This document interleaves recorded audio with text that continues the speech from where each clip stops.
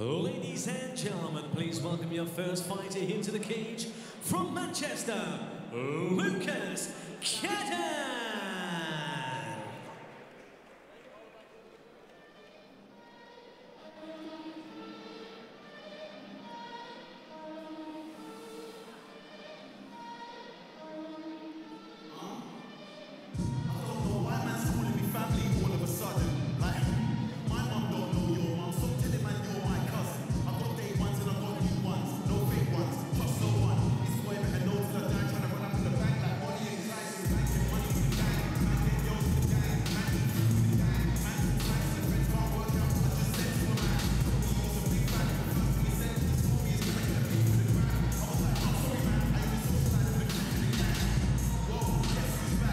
So here he comes, Lukas Kedden. I think the only person who's going to be more tired up than the fighters is Frank from Frank's Gym. He's had three for three in this first half of the uh, the Tanko card. Lukas Kedden debuted on ice last time in August, lost that fight, but they wanted him back. His fighting style, a striker primarily, but very exciting all round. And as we've seen from Frank's Gym already, these fighters come conditioned well, technically well, and mentally they seem very ready for these these fights as well. Yeah, they certainly do. And like I said uh, before the last fight, the buzz just starts to go, and they're on a winning streak here. I, I think Lukas uh, is going to come out now really buzzing. He's got two two of his teammates have won. He's going to want to come out and do exactly the same thing. Absolutely. Very calm fighter as well. Uh, when I saw him at the, the weigh-ins yesterday, just very chilled, taking it all in his stride. That's an asset at this sort of age as well, isn't it? When you're on a big show like this, and coming from Manchester, he's got quite a few fans in. There can be pressure that comes with that, but doesn't look to sweat it. And please welcome his opponent fighting the South Shields, Dan Ford.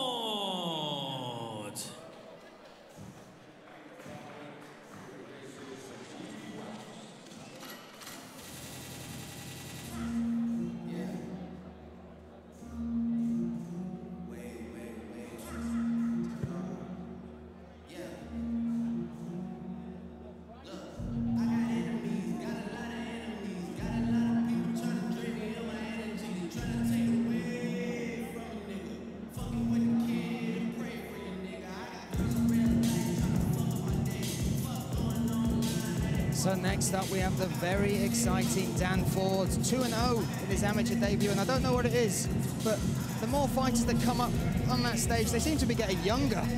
Look at this, young, fresh fighter coming, fighting out of Sixth Sense Gym, trains under Alex Enlund, so very solid training there, great sparring, great partners. Jiu-jitsu background, but with those long limbs, you want to see him use that distance, use those tools well, and see if he can implement them here against the, uh, the equally dangerous Lukas Kedden. Well, it's funny he's talk about the fighters getting younger. We've got Mohamed Makayev coming up there. Now, you've got to watch out for this guy. 16 years old, and he is phenomenal. But as you say, uh, this is the, the, the new MMA. The new guys coming through. They, some of these guys started training MMA, actual MMA, at 10 years old, 10, 11, 12 years old. Unbelievable. And look at this, this is what this promotion's about, giving these fighters this opportunity to, to feel the, the big lights, the bright stage, the pressure of a big event. Oh, you can see there, this is a young fighter. He's got Alex Enlund in his corner. Alex, you know, Cage Warriors champion. Very, very good fighter in his own right. Good jiu-jitsu, very good, well-rounded MMA. So all the Sixth Sense guys are going to have that sort of backing from him.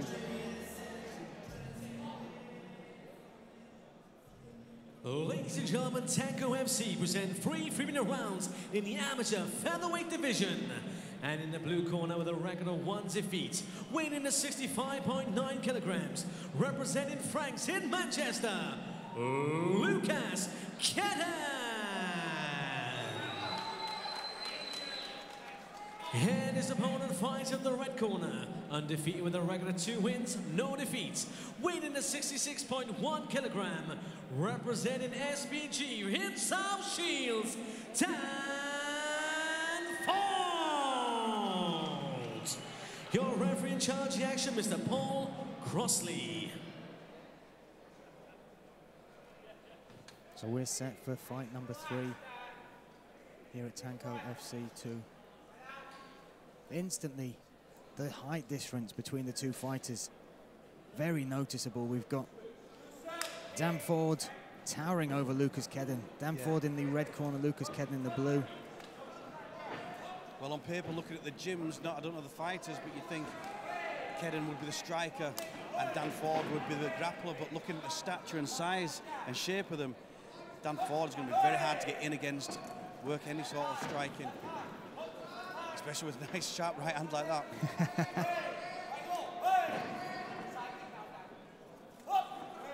Already showing a, a great vocabulary of shots. Front kicks, round kicks, jab, cross. And the distance as well, just putting them right on the end there, just so uh, he's out of danger and he can pick his shots. Those front kicks especially have been uh, very good at keeping the distance. He's got his he's got his time and his distance very very quickly for this fight. This looks like it could be a tough night for Lukas Kedden. But there you go, Lukas Kedden head, yeah, he calls it on there, head down, let's do this. Well, that's it. It's the attitude. And this may only be his second uh, amateur fight, Lukas Kedden, but when you're in a, a gym like Frank's, you'll be sparring regularly. We've already seen the sort of uh, fighters he's got to, to roll with, to fight with, to, uh, to, to work with day in, day out. Well, if he's day in day out with those two we've seen so far, it's going to be tough sparring all the time. Very impressed with Dan Ford and his, uh, his range at the minute, establishing that jab as well. Yeah, Dan Ford's a different kettle of fish. That was a good right hand, two right hands on the button. There's a change in uh, Lukas Kedden's eyes there. He just bit down on his mouthpiece and said, come on, let's do this. He might need to do that just to walk through a few of the shots to close that distance. Yeah, there's only so many of them he can take though. He's now standing southpaw, which is bad for eating the right hand. Already, already wearing the marks of a few of those kicks, punches coming from uh, Dan Ford there.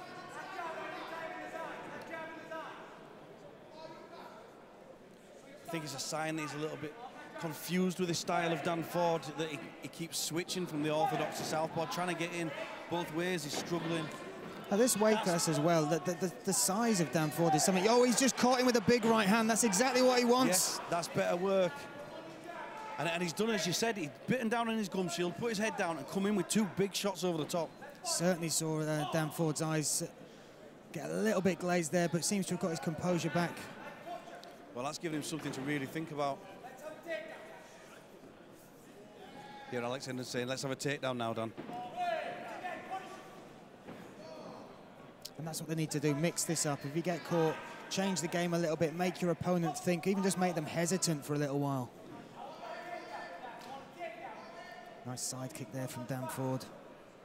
And Like I said, great vocabulary of shots. You know, really mixes them up well, Dan. Oh, good head kick. Nice head kick. This could, this could very much be a case. You've got the technical Dan Ford there. We might just need to see a brawl out of Lukas Kedden because he's trying to use angles. He's using good footwork, made changing it up. But with somebody like Dan Ford, he's closing the cage off very well. He's just picking him off with shots, and he's not causing huge damage. But he's certainly winning and taking the momentum of this this fight and these rounds. Exactly right. That Dan Ford won the round, but it wasn't one-sided. You know, he fielded two big right hands there, and that's the game that um, Lukas Kedden's going to have to play. He's going to have to bite down on his gum shield and go in there and make it a brawl. Absolutely. This will be the first time really that Frank uh, Frank's gym will have to sort of turn their fighter around. This is the first one that they've sort of been behind, in my opinion, uh, so far on the card. So it'll be interesting to see what cornering they give him, as well as Alex Enlund calling for the takedown there. Maybe once his because he will have a great jiu-jitsu background coming from uh, from that gym. It will. And you can imagine him sat in your guard. He could really fire some ground and pound down. You know, he's got the long arms. We're set for round two here. Dan Ford in the red corner. Lukas Kedden in the blue.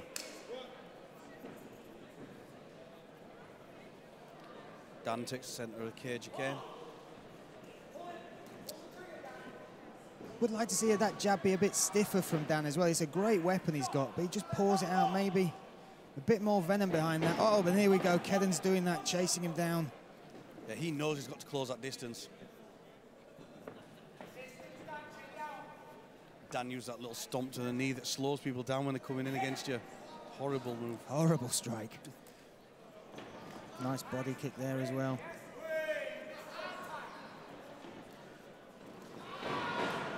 Trying to catch. Oh, that's good work there. That's great work. Now we will see the guard of uh, Dan Hope throwing those legs up instantly. Triangle Yeah, potentially. triangle, that's the thing with these guys with long limbs. He's got the triangle straight on. Turning the corner, grabbing the leg there very well. Yeah. Pulls the arm across. This could just be a matter of time This now. is um, and the ref is tapped. There we go. Unbelievable jiu-jitsu. For all credit to Lukas Kedden, tried to change it up. Great takedown off catching the leg. S- Struck the uh, the rear leg of, of Dan Ford down, but then fell into that guard and straight away Ford threw up those long limbs, shut it down. Brilliant performance. It really reminds me of a young Matt Thorpe, you know, a, a local fighter for, for M- M1 Global team and uh, fought over in uh, Bellator. And he's that same sort of fighter. He's got the, the great striking because of the reach, you know, very tall for the weight. But then as soon as you go into the guard, it's like quicksand. Those long legs wrap around you, you just can't get out of them. The speed at which he got that up and round, and then also the technique, those little adjustments he did, catching the leg, turning it over into almost a mounted triangle there as well. Very, very high level from such a young athlete.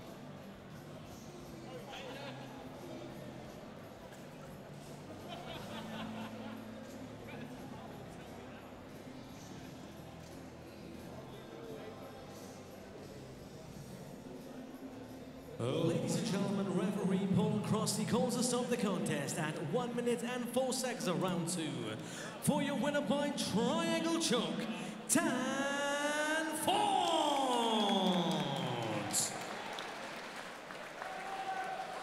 And let's for your runner-up, Lukas Kedden.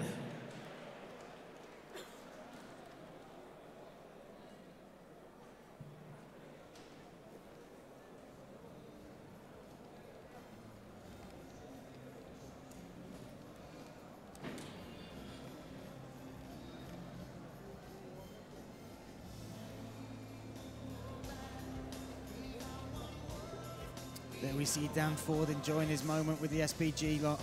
Alex Enlund there, very happy with his fighter. Got to be happy with that performance.